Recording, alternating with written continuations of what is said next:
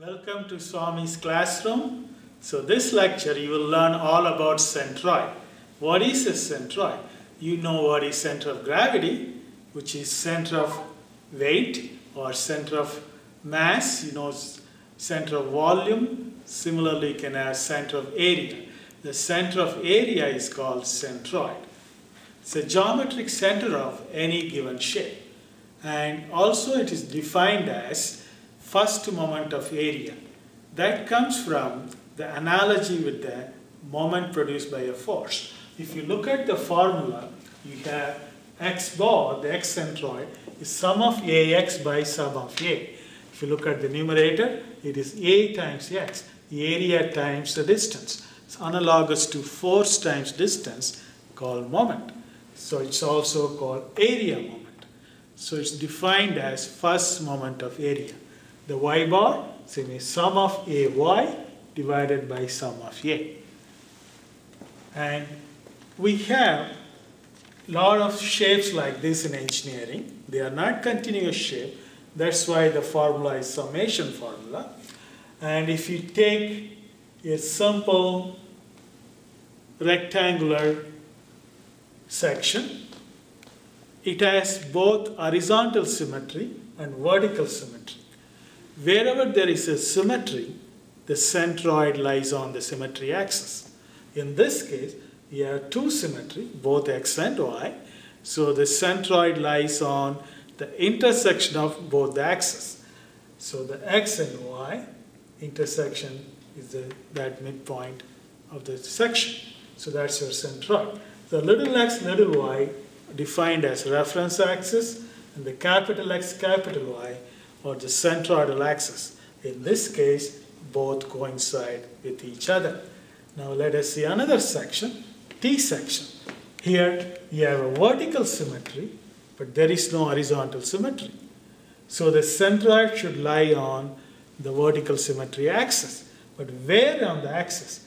That's what determined by the distance y bar. So once you know this y bar, then you know the centroid lies there. The horizontal axis, capital X, is the centroidal axis in the x direction. And the y direction, the centroidal axis coincide with the reference axis because that is a symmetry axis. Now let's take a C section. In this section, we have horizontal symmetry, but there is no vertical symmetry. So the centroid should lie on horizontal symmetry axis. But where on that axis? Given by the distance x bar. Now, the capital X and small x, they coincide, whereas small y and vertical y, I mean capital Y, they are different. Now, if we take a L section, it has no symmetry. It has neither horizontal symmetry nor vertical symmetry. So where the centroid will lie? It lies outside the shape, some point where it need to be calculated. There's a distance x bar from x-axis and a y bar in the vertical direction. So you have both x bar and y bar gives you the centroidal location. So the capital X, capital Y, that's, that does not merge with X or Y. They are different. Now if you take an I section, look at here, you have both vertical symmetry and the horizontal symmetry. So the intersection of both the symmetry axis is right here, the midpoint. So that's our centroid. So in this case, the reference axis and centroidal axis, they coincide because they are the same. Now let us take this L case, L section, since it has no symmetry, let us try to find the centroidal distances, what is x bar and y bar, with respect to the reference axis x and y. Since it is an L shape, let us divide into two simple elements. There's one element and this is a second element.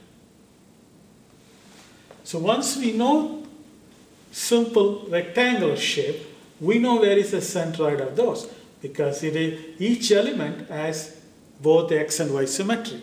So the midpoint will be the centroid for that element. So take the element 1.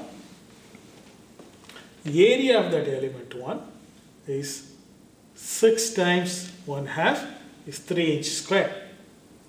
Now what is the centroid of that element? The midpoint of that? It is 1 half of x 6 is 3 inch and vertical distance 1 half of half inch 0.25 inch.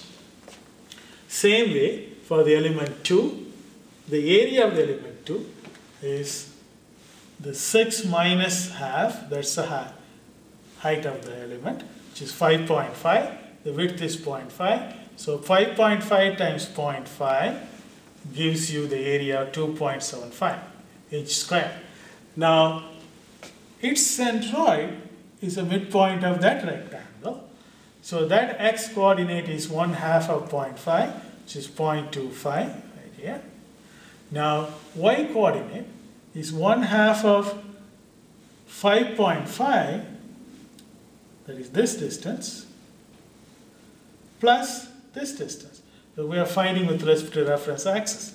So 5.5 divided by 2, which is 2.75, plus this 0.5 comes to 3.25.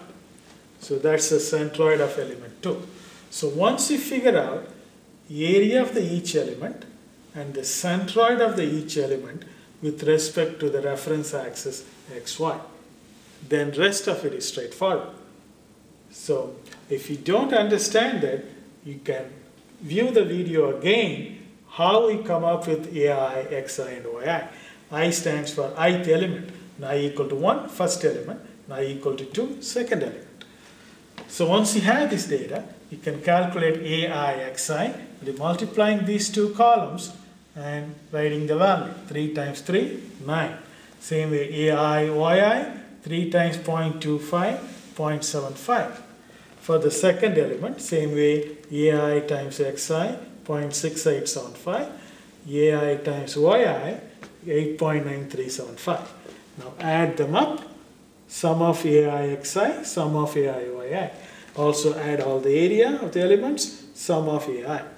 Now the X bar given by sum of AI Xi divided by sum of AI, which is 9.6875 divided by 5.75.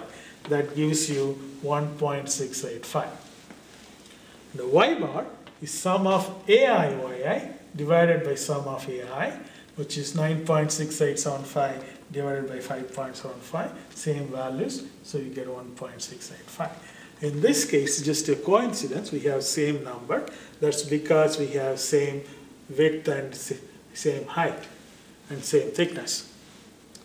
So that's how we can calculate the centroid of any given shape. For example, the I section, you divide into simple three rectangles. So element 1, element 2, and element 3. So any given shape we can divide into simple shapes. For example, here C section, we can divide into, again, three rectangles. One, two, and 3.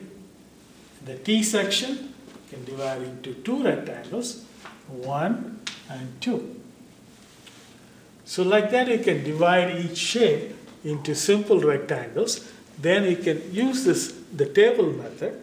The only thing we need to worry about is the area of the each element and the centroid of the each element, the x and y coordinate with respect to the reference axis. Once you have those values, you can simply find other columns and then use the formula to find x bar and y bar.